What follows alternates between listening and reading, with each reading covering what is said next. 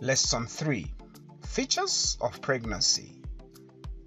By the end of this lesson, you should describe the features of pregnancy and identify signs and symptoms of pregnancy. All living things reproduce. Reproduction is the process by which living things produce their young or offsprings.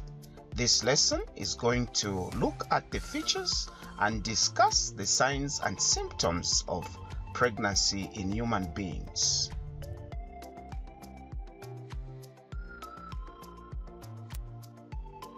As we have discussed already, human beings, like all other living things, reproduce.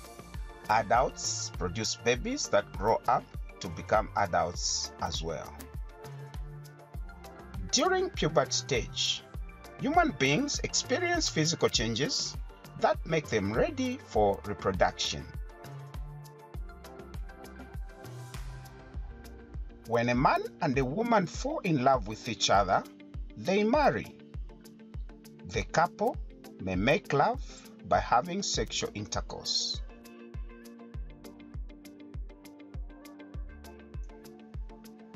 During sexual intercourse, the man inserts his penis into the woman's vagina, and if the time is right, a sperm will fertilize an egg or ovum from the woman's ovaries. If this happens, conception has taken place.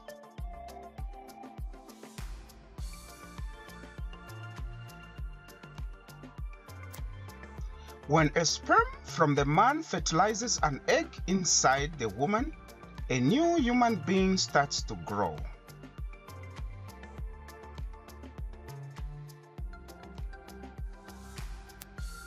While the baby grows inside its mother's womb, the mother is termed to be pregnant. The first sign that most women experience is that their monthly periods stop. They may feel sick and vomit, especially in the morning. This is also called morning sickness.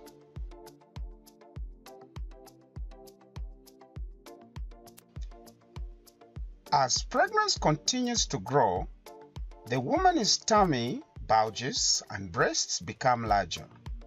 Pregnancy in human beings lasts for nine months in most cases, and then the baby is born.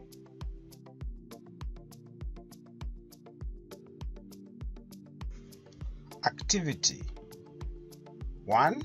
Define the following terms A. Reproduction, B. Conception, C. Fertilization, D. Pregnancy. 2. Write down features and symptoms of pregnancy.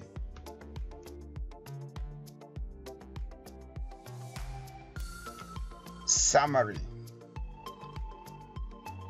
the lesson presented and discussed the features of pregnancy. It also stated that when the sperm fertilizes the egg or ovum, conception occurs. Further, the lesson discussed that vomiting, enlargement of breasts, and bulging of the tummy are some of the signs and symptoms of pregnancy. Lastly, the lesson highlighted that usually Pregnancy in human beings lasts for nine months and then the baby is born.